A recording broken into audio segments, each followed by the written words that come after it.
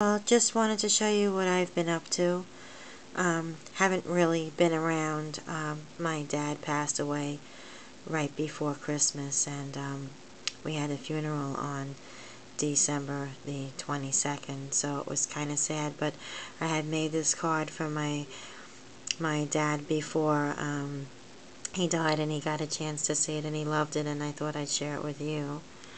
Um, it says Merry Christmas on it.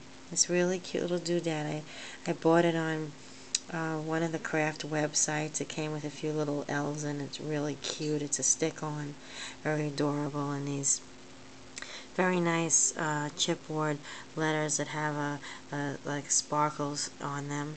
Uh, they did not have a self-stick back, so I just glued them down with some adhesive.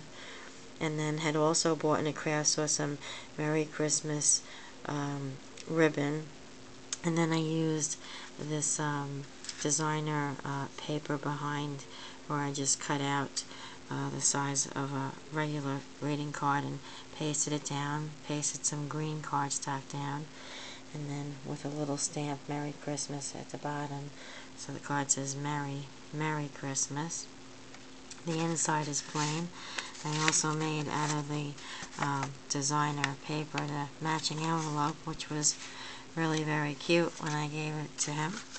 And um, that's basically it. The card came out really nice, I have to say.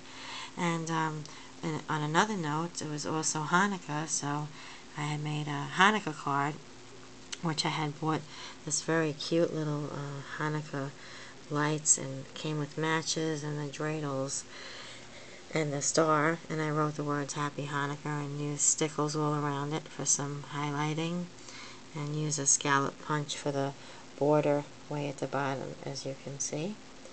And there's a dreidel. Very cute stick-ons. I use a little glue behind it to reinforce it. And um, that card came out really nice. And um, there you have it, your Happy Hanukkah and your Merry Christmas card. Very cute. I just love the way that looked with the little elf there. He's really adorable.